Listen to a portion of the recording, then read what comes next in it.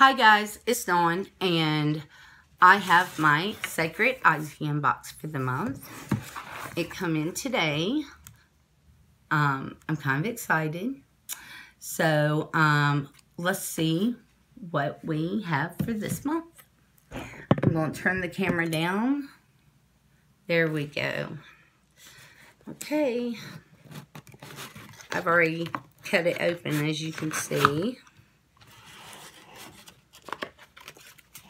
We have some paperwork.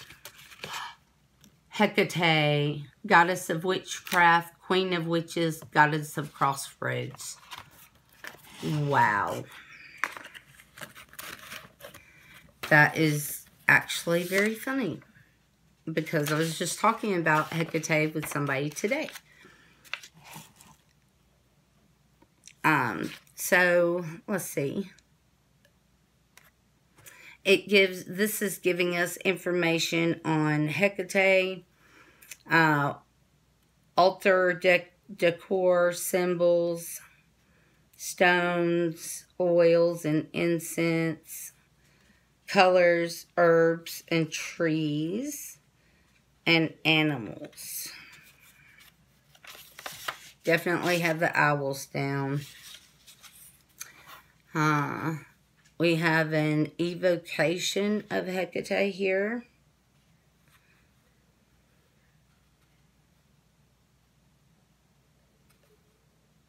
Uh, it's very detailed. It's actually very beautiful. So I'm just going to show you the, this is our Book of Shadows page.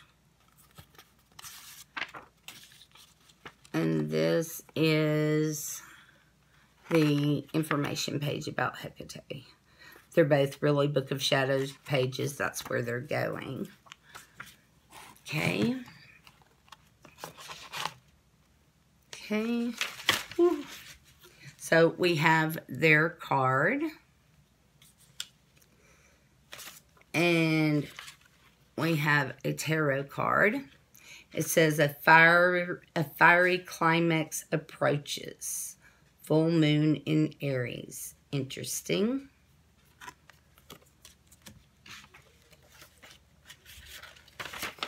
Okay, and we have our sheet that has everything on it. Uh, but I don't want to, I want this to be a surprise, so I'll just read you the top part. Merry, we meet. We gather this month of August, a month into the dark half of the year. Signs of autumn approaching are starting uh, are starting to show themselves. These changes are subtitle in the beginning. If you haven't taken notice, be sure take a moment to admire nature the next time you're outside. The changes of the seasons, even in their most subtle form, are our guides through the year and should inspire our magic to stay in alignment with the earth and universal flow. The leaves are beginning to gradually fade away from green. You may even notice a few extra leaves on the ground. The evening breezing, breezes are starting to pick up, and the crisp night air whispers good night. We're still in summer, however. It is becoming apparent that the days are waning and the autumn is rapidly approaching. As we go further into the darkness, we can take solace in our magical practice. To guide us along our journey, we can connect with the Queen of Witches, the Goddess of Witchcraft, and Goddess of the Crossroads. We can call upon her, she of three faces and represented by the triple moon. We can call upon the maiden for new beginnings, enchantments, and ambition through the waxing moon.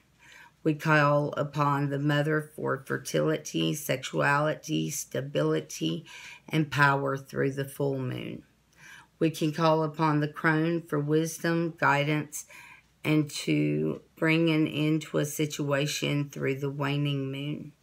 Hecate is always near and patiently awaits your call. She can be your greatest teacher of the craft. She will inspire you and through intuition lead you along your journey in witchcraft. This month, we remember who we are and what we represent. We are witches. We are strength. We are power. We are wisdom. If you choose to pursue her, oh, Hecate empowers us to be strong, guides us to be intuitive, and blesses us as witches. This month's box will be an aid to connect with Hecate, the queen of witches, the goddess of witchcraft. If you choose to pursue her, you may choose to acknowledge her as your goddess of the craft and create a shrine for her for daily working and praise. Or you may call upon her for guidance during your magical work when you need her wisdom in witchcraft. Either path you take in working with her, you must first call upon her. You may connect with your ma your maiden, with your mother, and with your crone. May you be guided to become stronger, more powerful, and wiser witch. We are witches, and together we call upon Hecate, the goddess of witchcraft, for rebirth, power, and wisdom. Embrace the witch you can be, empowered by the goddess of witchcraft the goddess has never been lost. It just, it is just that some of us have forgotten how to find her. By Patricia Monaghan. Okay. And says, Blessed be uh, with love and light, sacred Iseum. Okay. I don't want to go any further, but I've read this part. And we're going to keep that handy. Okay, this is what the box looks like.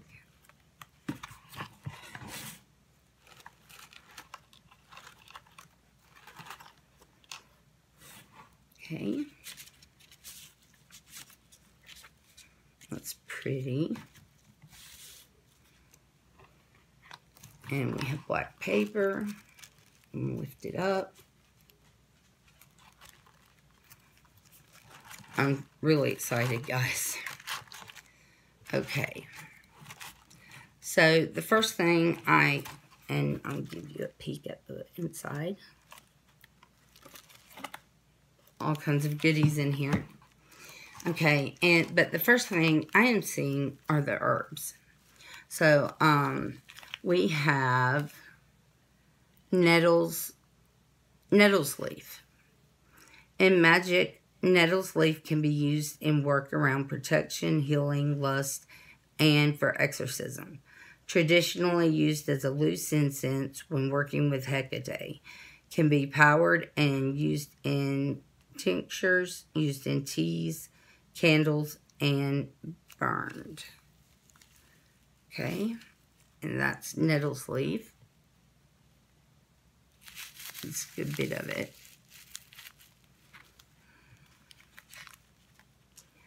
And then we have mullein leaf.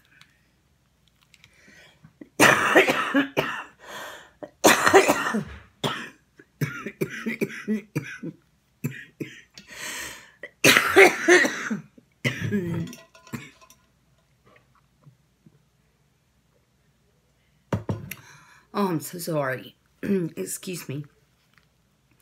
In magic, mullein is known as Hecate's torch.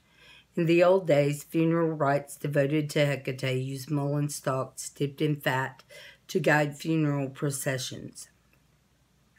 Magical purposes are protection against black magic, curses, and other negative energy, used to keep away malevolent spirits and bring courage when kept on the person. so this is the mullein leaf.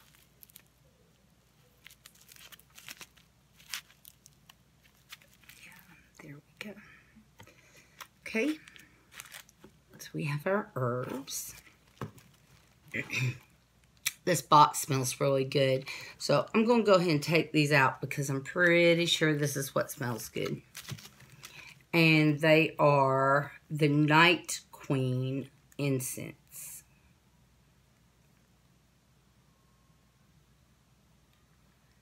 I think there's eight in here. Hang on. Yep, eight. And they smell really, really good. Okay. I've never heard of that before. So I'm not sure.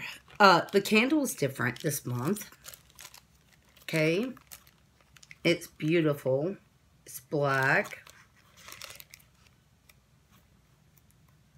I usually uh, burn red candles for Hecate.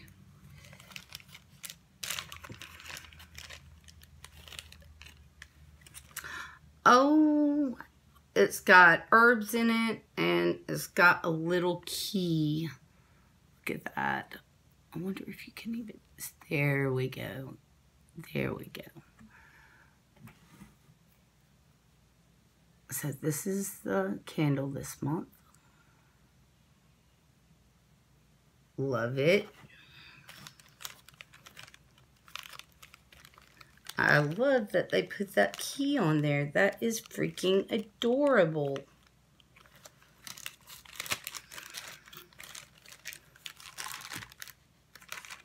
Okay.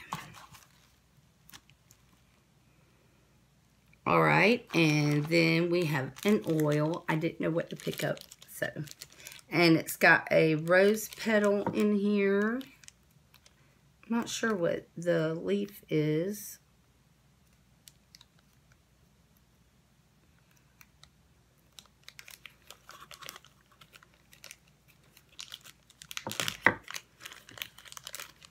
I'm sorry about my nails. They're a mess right now. I had to break off.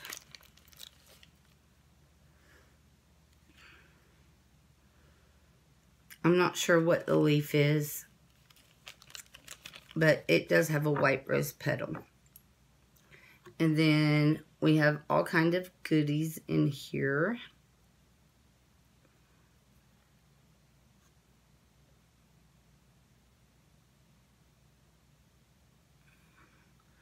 see a clove.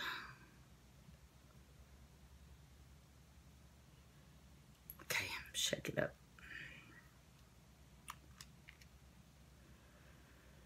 Oh my goodness. It smells really good. Um, it's kind of minty.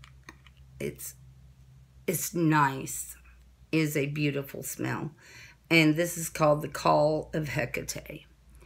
And we have a little owl over there. I love owls, you guys. So, here we go.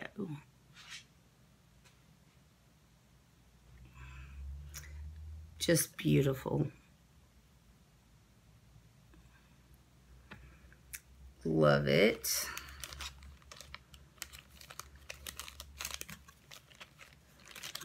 I like to know what the herbs are in the bags so I know how to use them. So I'm hoping she tells us what's in the bag. It's a rose petal and something else. Okay, I have a little bag and a bigger bag. So I'm going to pick up the little one. It's super cute. It's velvety. I love it. I have a thing for bags. I keep them all. And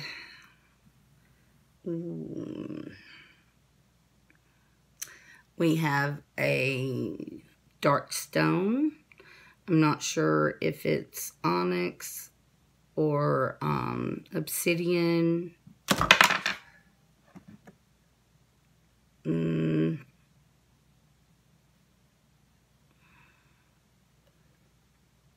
If, if I had to guess, I would say it's obsidian because of the brown inclusions and I have some obsidian like this. I love obsidian. Or it might be onyx. I, I don't know. Um, onyx is the one that has the brown inclusions. Okay, it's one of the two, you guys, and I'm going to look you up and see. Let's put it there. And this looks kind of like a medicine bag.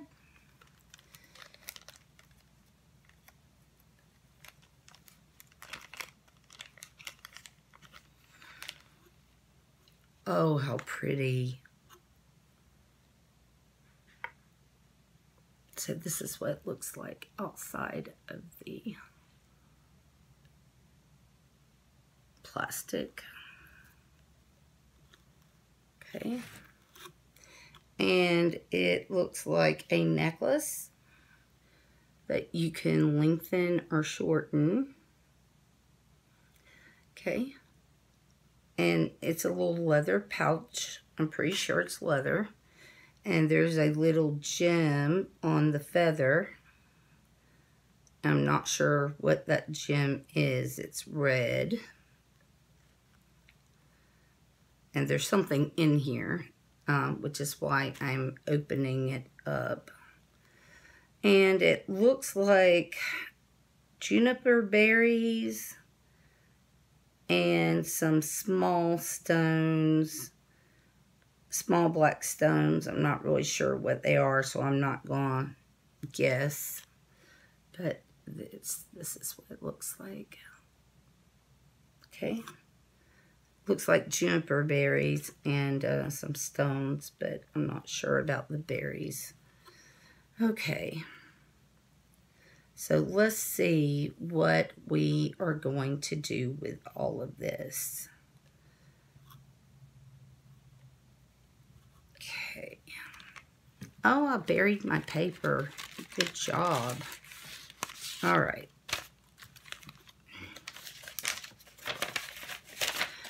Now, the herbs have the same information that I read to you already. They're on the herbs.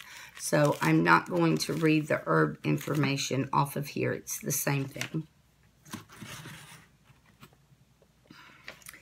Okay, so we have our magical oracle card.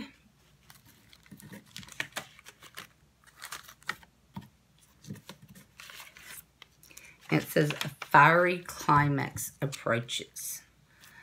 I hope it is a good one.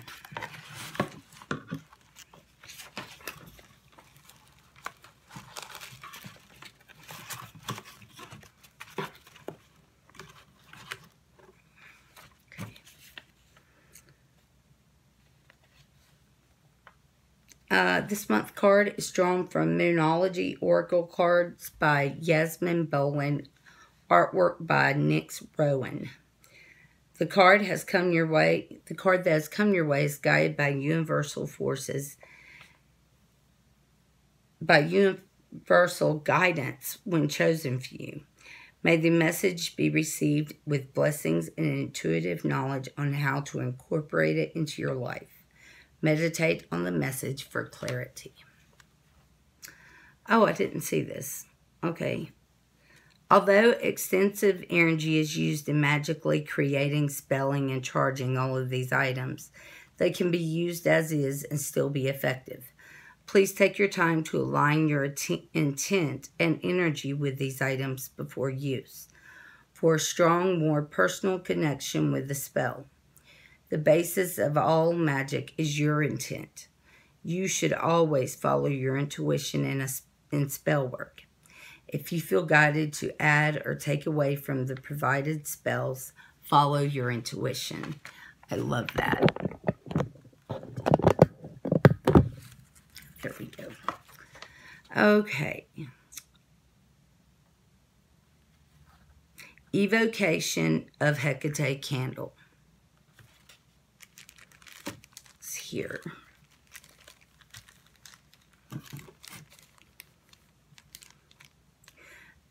This handcrafted candle is designed to connect you with the goddess Hecate by evoking her to your magical space and into your life.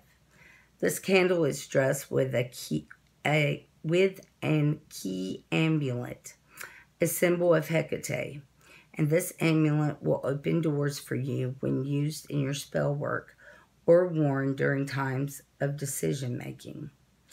This candle should not be taken lightly and should not be used unless you intend to follow through and work with Hecate. Remove all dressings tied to the candle before use. Do not burn unattended. Candles dressed with herbs and, or and oils are at higher risk for fire. Okay, candle back in here.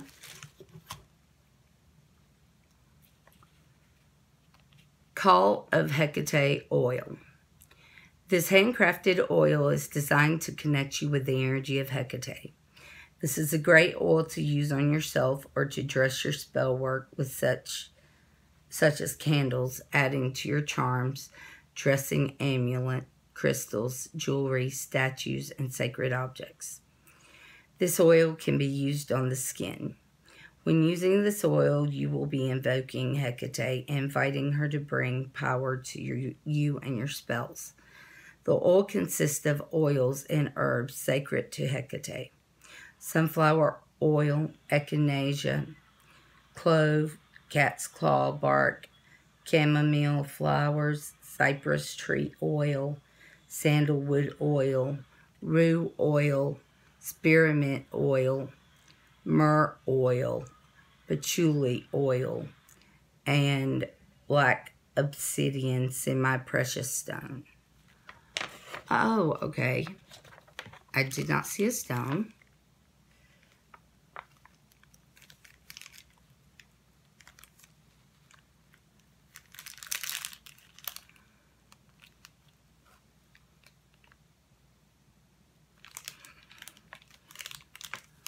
There it is. Okay.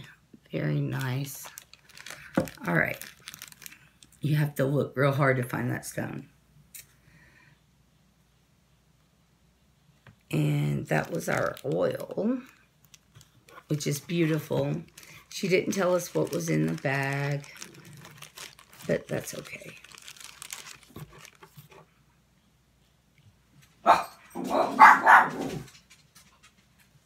Night Queen incense. right here. This would be a nice offering for Hecate. Night Queen is welcomed is a welcome scent to magical space or home. Night Queen is associated with the goddess Hecate as it blooms only at night. Fantastic for burning during meditation or upon the altar for your spells, particularly particularly those for hex breaking. Interesting. Night Queen is also known for protection, magical potency, and when working with Hecate. Handcrafted and of the highest quality, these charcoal based incense sticks are perfect for enhancing the atmosphere of your home or being included in use for your favorite spells and rituals. I can tell you they smell amazing. They smell amazing. Wow. I am going to enjoy burning those around her altar space. I can already tell you. Okay. Black onyx in bag. Okay, so it is onyx because it um it has the brown inclusions right there. And uh, I have some onyx that looks the same. It has the brown inclusions in it. But it's beautiful, and that's part of what makes it beautiful. In magic, black onyx is a stone associated with the goddess Hecate along with most black stones. Black onyx was cho chosen for this box over other stones as it enhances steadfastness, determination, and is a potent stone for grounding. Black onyx offers you a great way to help keep you on task and balance your life. As you work with Hecate and further develop into a powerful witch, it is just as important to maintain balance and grounding. Use the stone alongside of any magic being performed with the assistance of Hecate. You may also wear or keep on your person when needed to tap into its magical attributes. When not in use, keep charged on your shrine for Hecate. You can use the black bag for any charms or to store the onyx. Do not allow this charm this charm to be touched by the sun, charged with the energy of the dark moon before the new moon. Okay, so that's got to be charged. So I'm going to put it back in its bag and take it downstairs with me when I go. So it can be charged when the moon is right. And I have to look on my calendar um, because I'm not sure what phase the moon is in right now. Okay, Hecate charm bag. That must be this. Perfect for containing your small sacred items, herbs, and stones. A personal charm bag is a vessel containing various items that is believed to hold powers for the owner. Traditionally, charms are worn under the clothing, worn around the neck, or kept in a pocket. The charm bag is made of a soft leather with a cord and adorned with a feather. There are charmed stones in the bag to get you started. A personal effects such as hair, finger, fingernail clippings, along with some herbs from this box after you charge them with your energy. A few drops of the Call of Hecate oil and your black onyx stone. Place this bag under your pillow when you sleep to receive me messages from Hecate for guidance. Also, keep this bag on your person for protection when away from your sacred space. You can also use this bag to enhance your magical workings. The more you work with your bag, the more life it has and the stronger its energy field grows. Never let this charm be exposed to direct sunlight charge under the dark moon the day before the new moon. So both of these need to be charged under the dark moon. So I am going to take them both downstairs.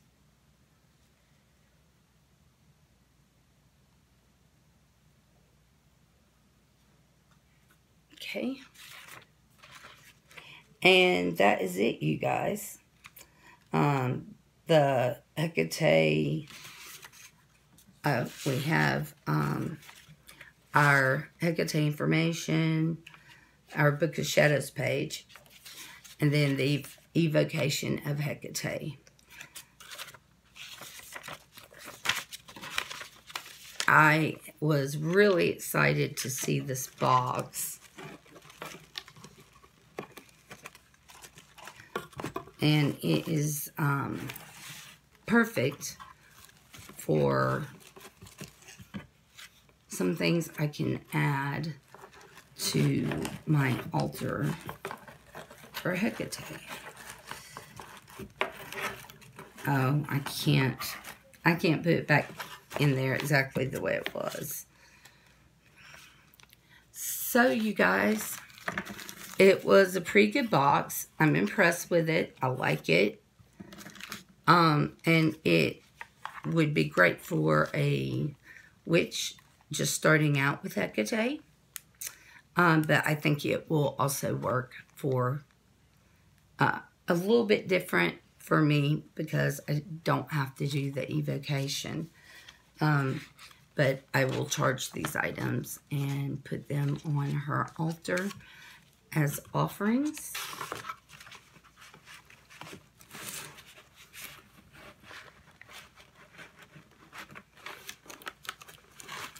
Well, the stone will probably stay on her altar. And um, what I thought was a medicine pouch, it kind of looks like one, right?